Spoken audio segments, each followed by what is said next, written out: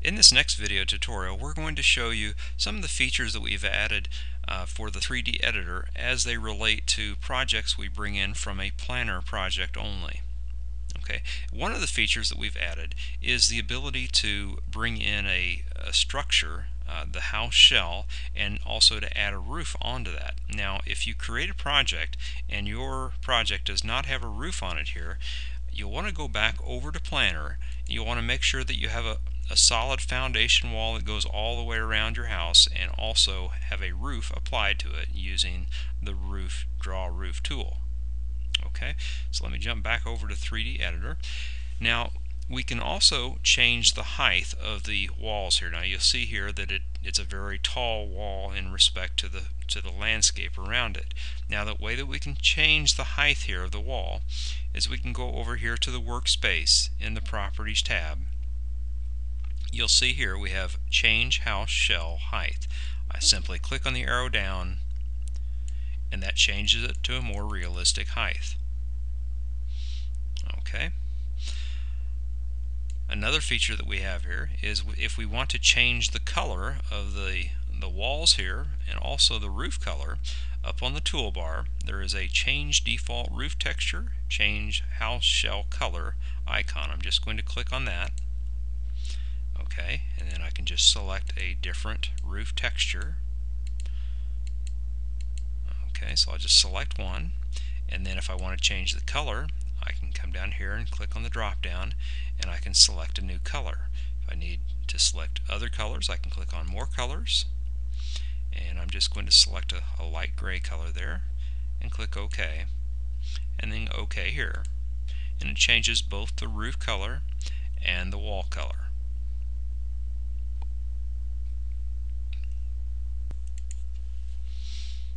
Okay, something else that we can do here is we can add doors and windows to this foundation wall. Okay, and the way we do that is we come down here to the Content Explorer and we go over to the Miscellaneous tab. Now I need to select the selector here on the far left side and I need to go into Building Material. Okay, let me go ahead and rotate this around so we have a straight on view okay and I want to add a front door so I'm just going to select one of the doors that we have here.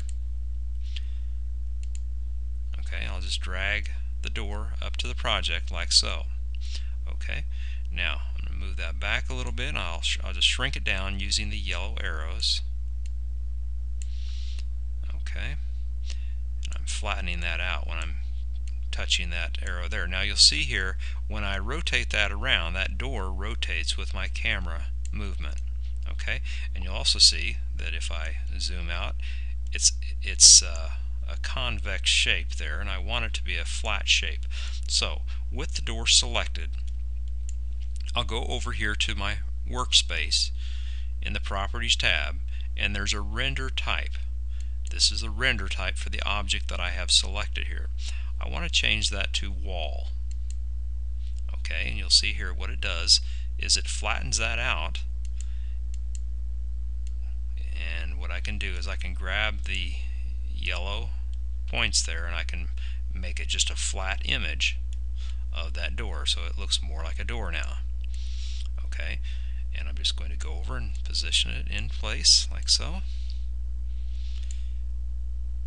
shrink it down to an appropriate size. Okay, and then I'll just push it back until it starts to disappear. So I know it's behind the wall there. I just pull it up a little bit, drop it right there. Okay, so now when I rotate that, that appears to be on the actual wall of the home, like so. Okay, doors we do, or I'm sorry, windows we do exactly the same way, except we go down to the miscellaneous tab and we have a category called Windows. I'll go to the window that I want and I'll just select this double hung. I'll drag and drop it in place. Okay, I just need to scale it down to size.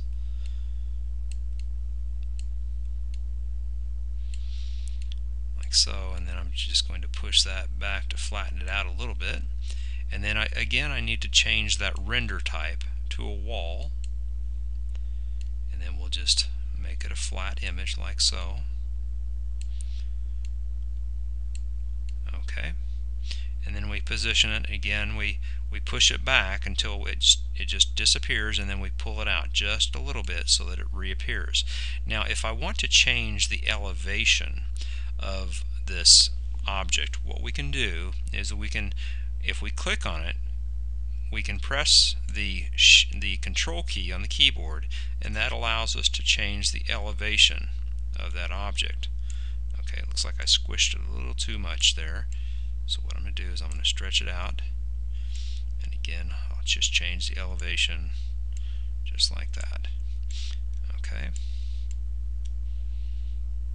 Okay, now if I want to bring another one in I would do the same exact thing.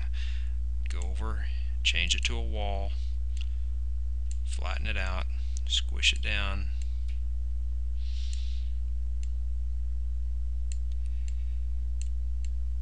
Then move it so that it uh, just reappears uh, after I've pushed it through that wall. And again, to change the elevation on that window, I simply hold down the control key. That allows me to elevate it and then I release the control and I move it. I can move it from side to side or forward and back like so. Okay, just like that. Okay, and that's how we add doors and windows, and we change the, the house color and, uh, and the roof texture on a Planner 3D project.